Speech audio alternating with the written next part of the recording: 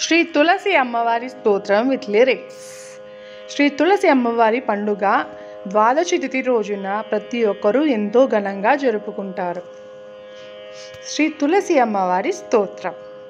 జగద్ధాత్రి నమస్తుభ్యం విష్ణుశ్చ ప్రియవల్లవే यतो ब्रह्मदयो देवा सृष्टिस्थित्यन्तिकारिणः।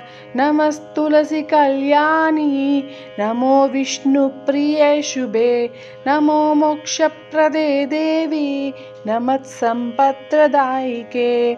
तुलसी पातु मां नित्यं सर्वोपद्योऽपि सर्वदा।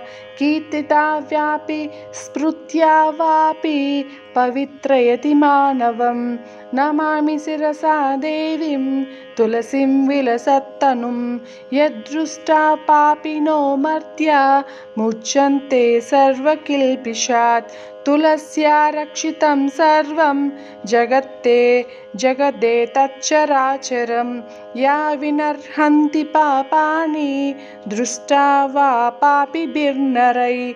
नमस्तुलसी सत्यतिरां यस्यै बद्धाञ्जलिं कलौ। कलयन्ति सुखं सर्वं स्त्रियो वैश्यस्तरे परे।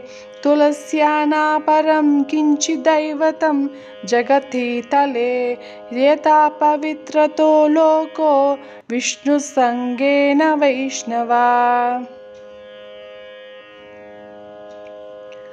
तुलस्याना परं किञ्चिद्दैवतं जगतीतले यथा पवित्रतो लोको विष्णुसङ्गेन वैष्णवः तुलस्या पल्लवं विष्णो शरस्यारोपितं कलौ आरोपयति सर्वाणि श्रेयांसि वरमस्तके तुलस्यां सकला देवा वसन्ति सततं यतः। अतः सामश्च यो लोको सर्वान् देवान् समर्चयान्। नमस्तुलसि सर्वज्ञे पुरुषोत्तमावल्लभे। पाहि मां सर्वपापेभ्यः सर्वसम्पत्प्रदायिके।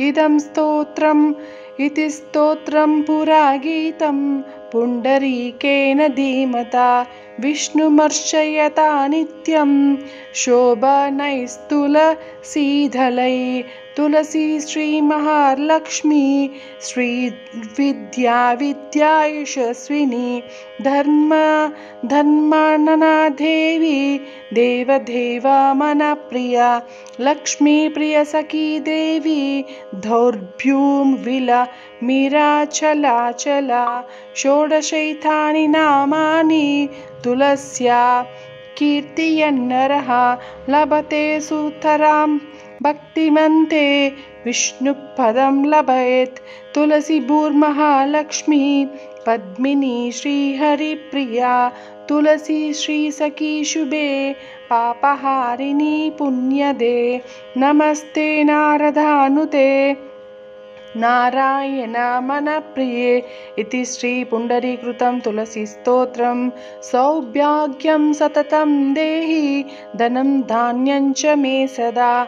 आरोग्यं शोकशमनं कूर्मे माधवप्रिये आभीष्टफलसिद्धिं च सदा देहि हरिप्रिये। देवैश्वं निर्मिता पूर्वमप्रुतासि मुनीश्वरः मुनीश्वरिः आतो मां सर्वदा भक्त्वा कृपादृष्ट्या विलोकय पत्युरायुष्यभाग्यं च सदा देहि हरिप्रिये इति श्री